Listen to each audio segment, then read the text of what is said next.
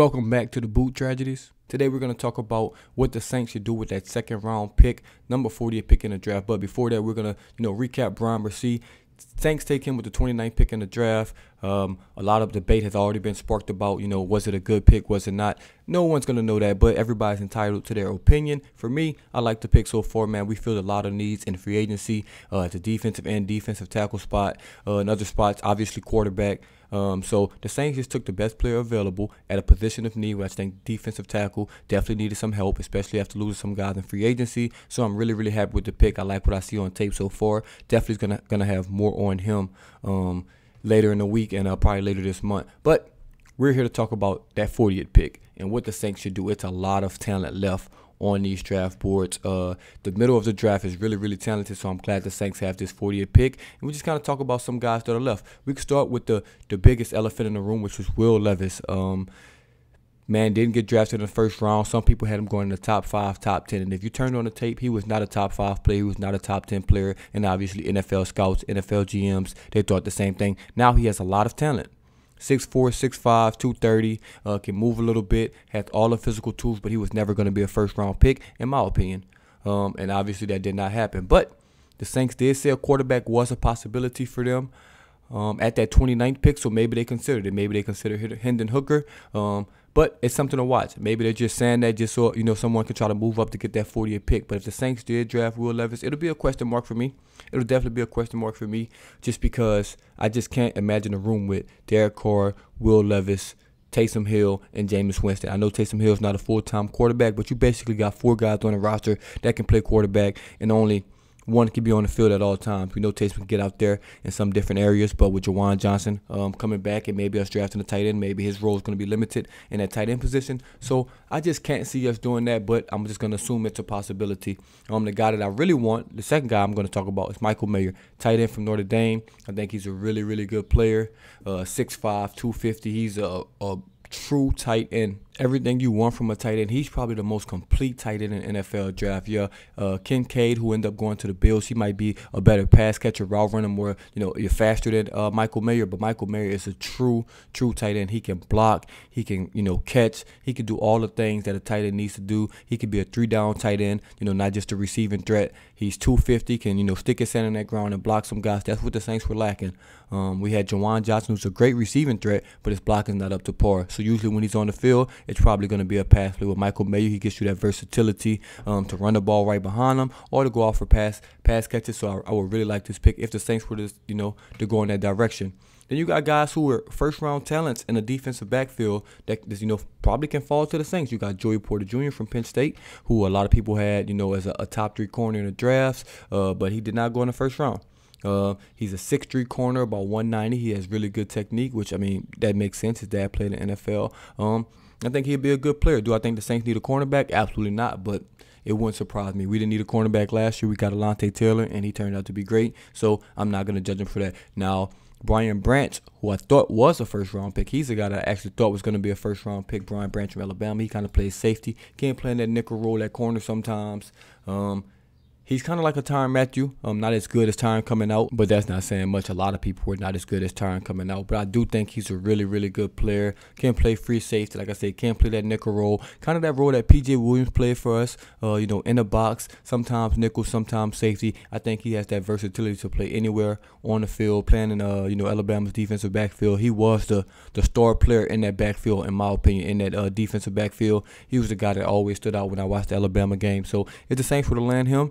I would love, I love that. Like I said, he could play free safety, nickel role. Can slide the corner if you really, really need to. That's not a strong suit, but he's very versatile, and that'll get him on the field, man. Obviously, our defensive backfield is really good with Tyrann Mathieu, Marcus Maye, Lattimore, uh, Adebo, and Alontae Taylor. So it's going to be tough for him to get on the field. But since he can play multiple positions, that'll definitely, you know, jumpstart his career and uh, able him to get on the field much quicker. Some other guys at these same positions that I think the Saints could look at: Hendon Hooker, another quarterback. Um, had a really, really good season coming off ACL injury. So if the Saints were to look at a quarterback of the future, a guy that they want to sit two to three years behind Derek Carr, Hendon Hooker may be uh, an option there. I just don't see that happening. Then you have Luke Musgrave, who I think is another really, really good tight end from Oregon State. He's about 6'6", 250. I don't think he's as good as Michael Mayer, but I think he's really, really, really good. Um, He's super fast at that size. So if, if the Saints draft him, I would not be mad at him. He's a really, really good player at that tight end position. Uh, the Saints will have options. The Saints will have options. It's a couple guards at that position. Um, you know, right now, the uh, early part of this draft, I don't think we'll take a guard, but they're there if we wanted to. Um, when it comes to the Another tight end, actually, before I leave the tight ends, we got Darnell Washington. Obviously, this guy's a beast. He's a freak athlete. I mean, one of the best athletes in the draft. Six seven, about 265, 270. Obviously, he can block. Obviously, he can run. Obviously, he can catch. He's a super freak. If the Saints draft him, I will not be mad. Do I think he's worth the 40th pick? Who knows? Who knows? But I would not be mad at this pick. I promise you, I would not be mad at this pick. This guy is a super, super freak. I, I mocked him in at least two or three drafts. I really like what I saw on tape from him. I mean, he was playing behind the best tight end in the nation, a guy that's probably going to go top eight next year, maybe top five if he really continues to do what he does. So I would not be shocked if the Saints landed with Darnell Washington. He's a really, really good player. I do think we're going to go an edge. Personally, I think we're going to go edge, um, maybe receiver if we're feeling, you know, froggy, but I do think defensive end is probably probably the um, the way the Saints are gonna go. And Keion White is the name that jumps off the screen for me. Um, he's 6'5", 285. That's a big defensive end. That's what the Saints like. So I can definitely see him being on the Saints um, draft board. But the guy that I think we should draft, uh, a guy that I've been watching, I'm gonna just I'm gonna screw up this name so bad, but I believe it's Adetomiwa Adebawore. Adetomiwa Adebawore from Northwestern. Um, super, super freak athlete, man. Dude measured off the charts at the combine. Uh, can run. He's big. He's strong. Everything you need, you know, from a physical standpoint, he has. Now, I do believe I mocked him to the Saints at one point in the draft. He has a 12 and a half career sacks. Uh, had a really solid season this year, nine tackles for loss, five sacks. The year before, had eight and a half tackles for loss, uh, four and a half sacks. He's a really, really good player, man. He's another guy that's very versatile. That can be split inside and outside. Uh, he's big enough. He's about 285. Bryan Bresee was, what, I think about 295. So he's 6'2", 285. Really, really good athlete. Now, I'm I'm telling you he's a good athlete, but I don't think you understand. This dude ran a 4-4 40-yard dash. A guy that can play defensive tackle or defensive end running a 4.49 40 yard dash. It's unheard of. It's amazing. It's just super, super crazy. He had a 37 and a half inch vertical, a 10 foot 5 inch broad jump.